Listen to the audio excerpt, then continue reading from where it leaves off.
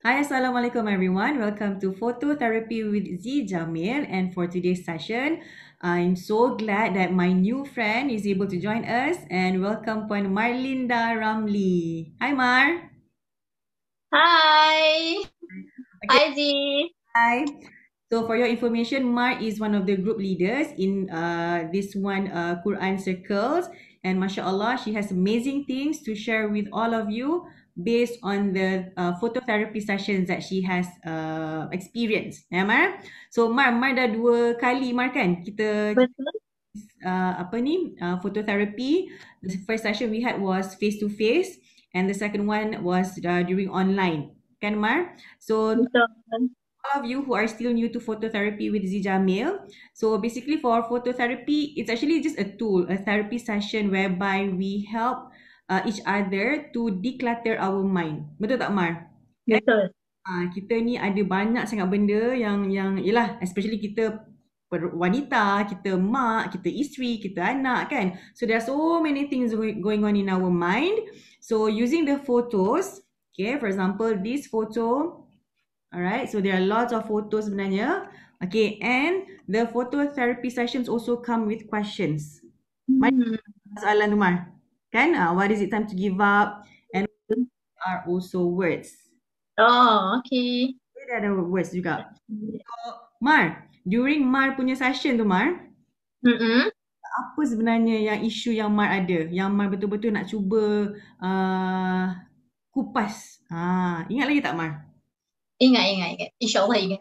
Okay, first thing, uh, I nak cakap apa, uh, terima kasih. Uh, thanks to uh, Z kan sebab I baru je sebenarnya kenal Z kan. Itu pun asbab lah daripada jumpa dengan kawan atas kawan kan. Tapi sebenarnya orang lain yang ada uh, ada macam uh, isu isu nak jumpa you tapi I pula yang macam eh uh, Allah bagi kan.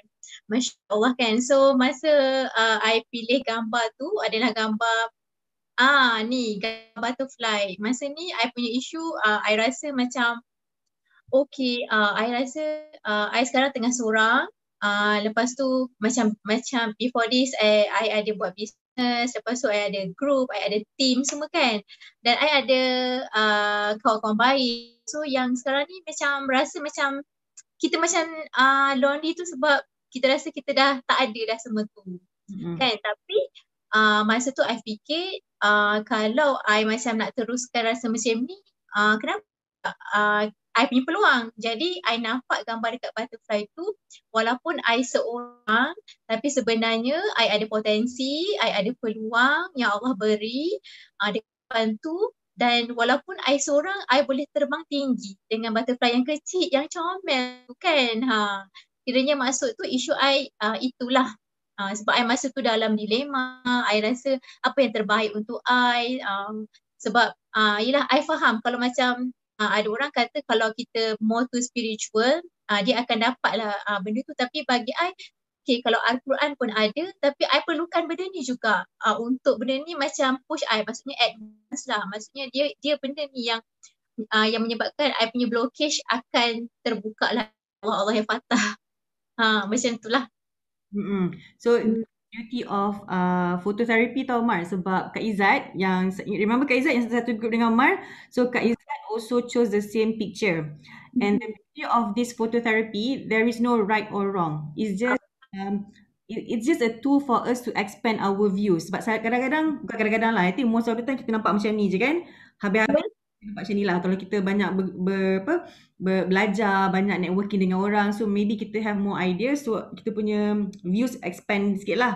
So Kak Izzat punya uh, apa tu? Uh, how she actually viewed this dia nampak dia kena transform.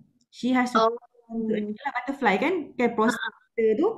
So that's the beauty of it. And macam saya cakap tadi lah apart from gambar kita ada soalan-soalan. Okay. So Mar do the questions help you tak to actually um, uh, make it clearer for you? Apa sebenarnya action yang you nak kena ambil since you want to be a better person? Kan you want to move forward kan? You nak berjalan. Mm-mm. Betul-betul ada. Uh, sebab masa yang uh, ada ada a few question yang Dati tanya hari tu uh, sebenarnya soalan yang macam macam yang menyebabkan I rasa I kena keluar daripada uh, isu ni adalah what do I miss?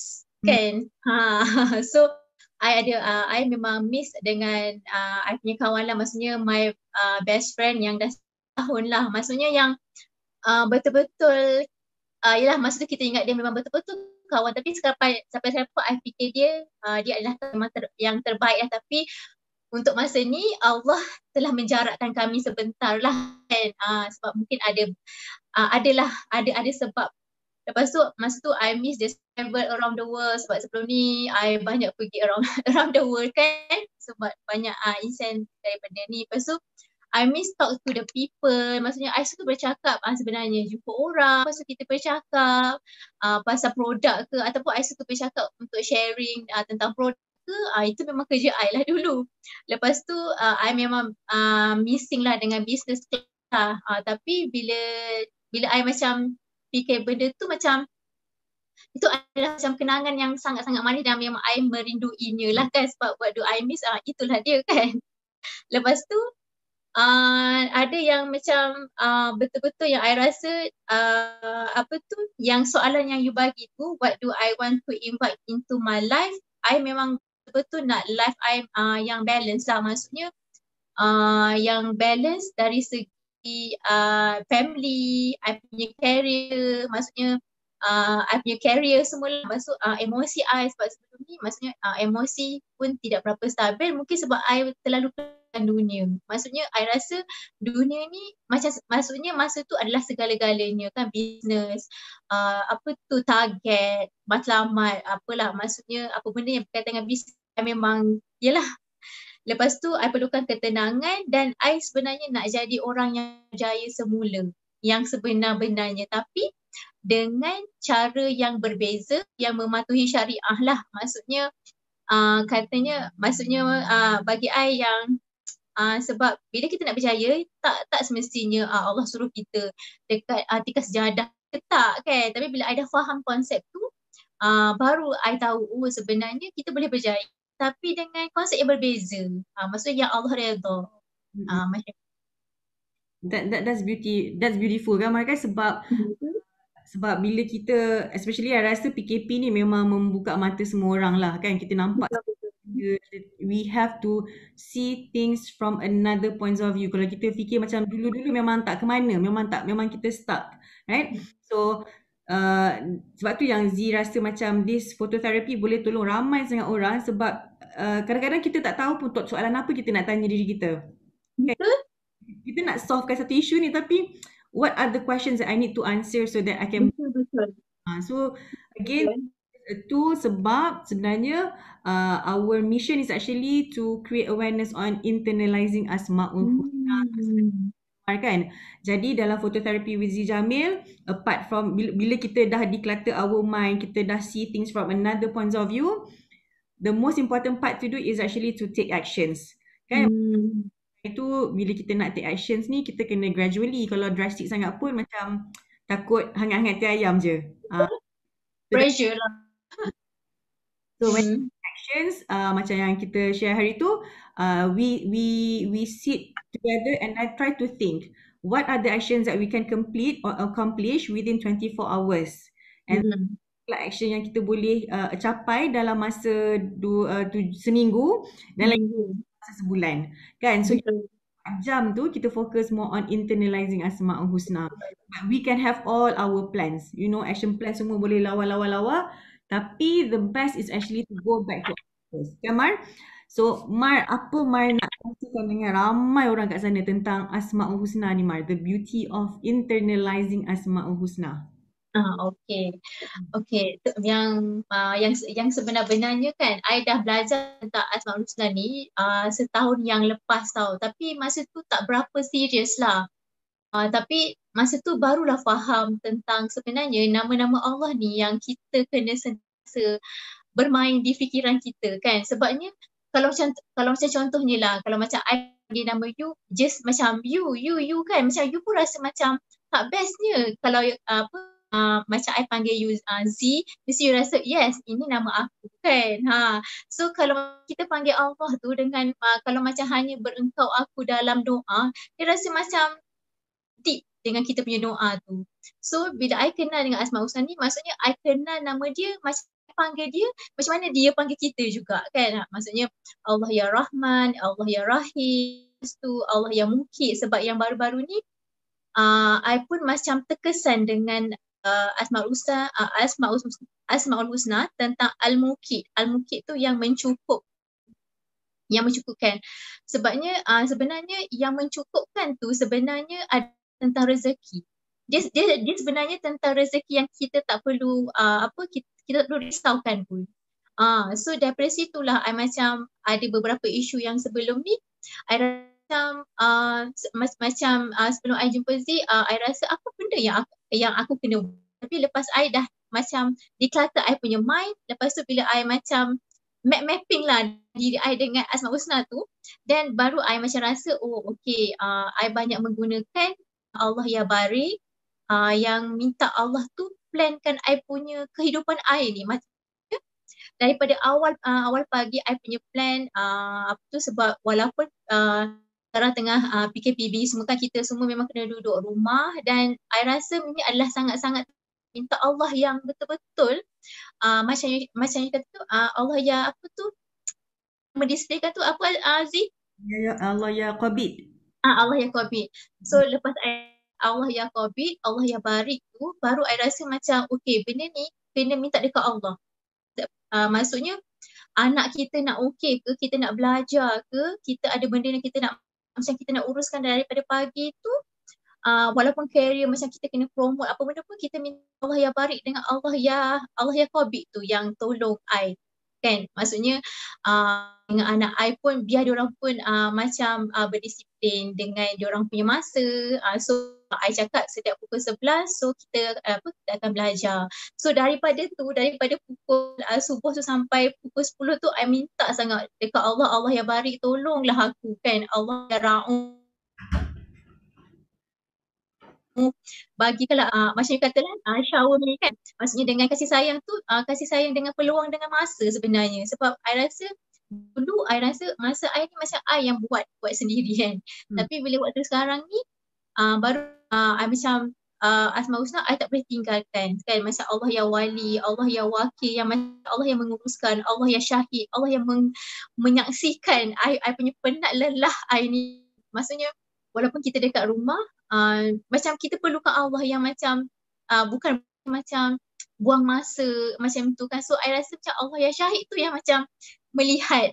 I, uh, I punya rasa aku penat ni kan sebab aku pidik juga. Aku pun nak macam nak ajar juga kan semua. Aku pun perlukan career aku juga perlukan duit juga. Aku perlukan ilmu. So benda semua semua benda tu yang memang I macam macam perlukan. Dan orang dekat luar sana pun sebenarnya yang sama yang sekarang ni orang pun tak tahu pun apa sebenarnya jalan yang orang perlu buat. Uh, so I rasa macam memang kita kena perkenalkan lah dengan Asma Husna ni daripada orang pergi macam uh, seminar-seminar yang uh, hanya menaikkan semangat. Tapi sebenarnya Asma Husna yang boleh memberikan orang lebih daripada itu. Impact macam uh, apa buku-buku motivasi pun memang kalah kan sebab bila kita faham tentang Asmaul Husna tu.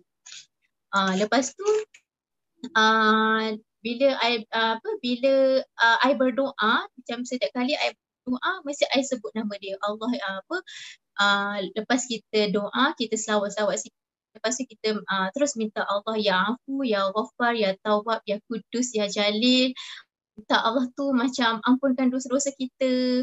Allah bersihkanlah segala kekotoran dekat hati Allah saja yang macam boleh uh, cucikanlah Allah yang kudus ya jalil tu kan. Ha, lepas tu Allah yang ya hadi ya hak tunjukkanlah jalan berikanlah aku nur uh, dalam uh, apa walaupun aku dalam rumah mintalah uh, berikanlah nur lah maksudnya cahaya kan. Uh, sebab I macam belajar um, tentang tanah kan sebab manusia ni daripada tanah. So kenapa apa kaitan tanah dengan manusia kan? Sebab kita ni uh, bila tanah uh, bila tanah ni dia ada kekotoran.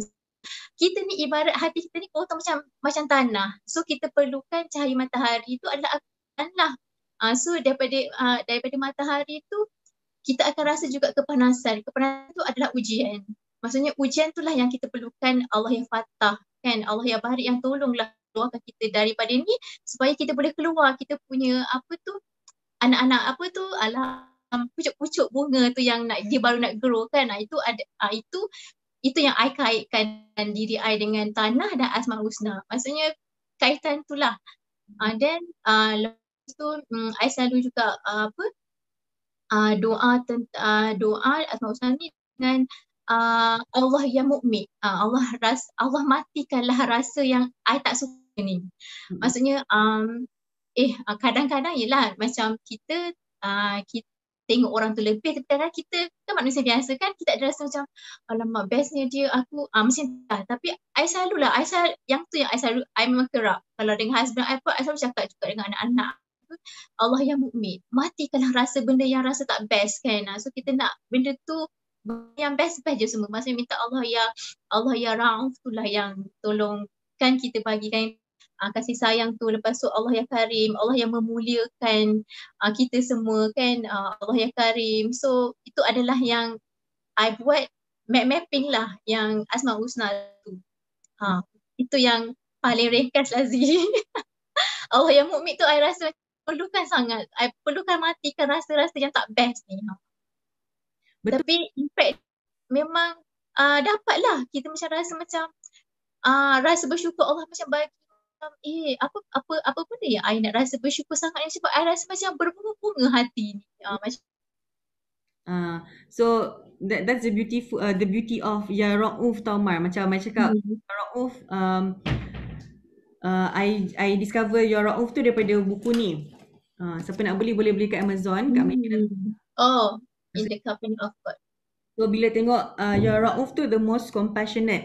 Tapi bila hmm. maksud dia dalam bahasa Melayu yang maha memberi kasih sayang. One of the meaning hmm. maha memberi kasih sayang. So macam yang Mai cakap tadi kan shower. So I always make doa Ya Allah Ya Ra'uf shower me with your unconditional love for so that I can love this person for the sake of you. Kan kalau kita marah dengan orang tu kan. Uh, so saya selalu doa macam tu. And uh, when Mai sebut um, Ya Fatah. So had, ada hari tu Mar, I memang tengah ada this one challenge lah. Memang uh, orang kata hardship lah kan. Tapi selama ni yang Z faham yang Fatah is yang membuka jalan. Okay lah. Ha, membuka jalan kan. But there's another meaning daripada buku ni. Uh, the of hardship. This, oh, this hardship. Kan? Uh, kan? Oh. Fatah the remover of hardship. So uh, sebab I think I'm quite a visual person. That's why I suka phototherapy ni. So bila kita imagine Allah yang remove. Allah yang remove segala kesusahan. Hmm. Macam. Okay, Allah. Masya Allah. Masya Allah. Masya Allah. Ah uh, macam tu tau. Campur. Hmm. Yang wakil the disposer of all affairs. Macam Masyari itu yang maha mentadbir kan. So hmm. wakil you are the disposer of all affairs. Allah ambil settlekan semua. Ya Allah ya Fatah. You are the remover of hardship. Uh, remove lah satu-satu. Ha, macam tu. Allah. Sedap eh dia, dia punya maksud dia. Maksud dia. So dia rasa macam yang ni sebenarnya yang apa orang kata Mar kita punya dakwah lah Mar kan sebab macam cerita dengan Kak Izzat uh, masa kita membesar dulu Asma'ul Husna is just a nasyid or was a nasyid je. Betul nasyid.